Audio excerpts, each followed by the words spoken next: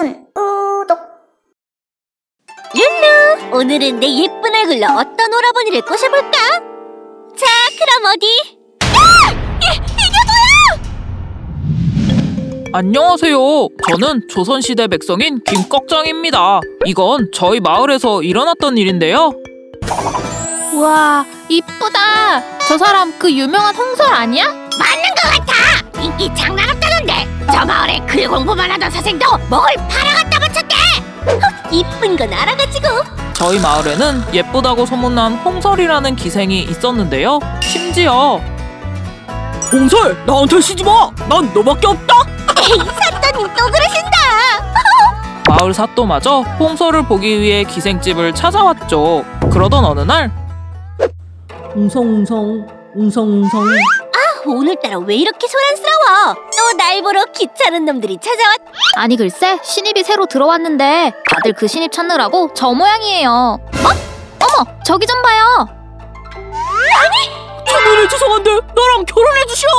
사또님, 그 부탁은 어렵사와요. 저 망할 사또놈이 그새... 잘 나가던 홍설은 새로 들어온 기생에게 자리를 빼앗기기 시작했어요. 그리고 그 여우 같은 기집애한테서 내 자리를 다시 어떻게 뺏어오지?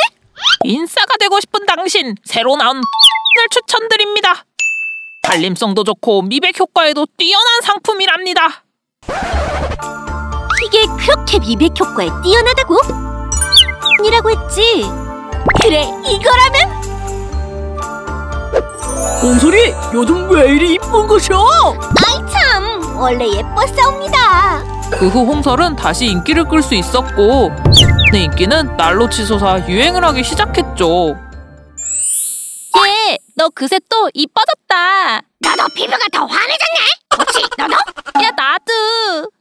이쁜 것 덕분에 다시 인기를 찾을 수 있었어. 자, 그럼 어디? 야! 이, 이게 뭐야? 그러던 어느 날 을 사용하던 사람들 사이에서 부작용이 나타나기 시작했어요.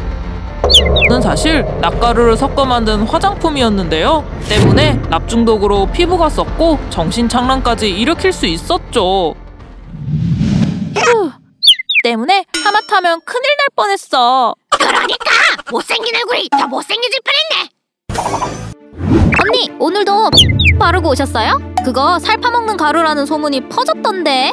신경 꺼. 내 얼굴은 내가 알아서 관리하니까. 어 언니. 내 피부 썩어가는 피부를 가리려면 이 방법밖에 없어. 네 몸에 해롭다는 소문이 퍼졌음에도 홍설은 계속해서 화장품을 사용했는데요. 그러던 어느 날 홍설! 오늘도 널 보기에 내가 찾아왔! 사 사토 조금만 기다려. 그 끔찍한 피부는 무엇이냐? 으, 내가 헛걸음을 했구나! 결국 홍설의 피부는 으로도 가려지지 않는 상황이 찾아오고 말았죠. 그리고 이제 그만 나오거라. 흉측한 얼굴로 왜 자꾸 나오는 게야? 하지만 됐고 다신 찾아오지 마라. 에이스였던 일자리에서도 쫓겨나고 다 끝이야.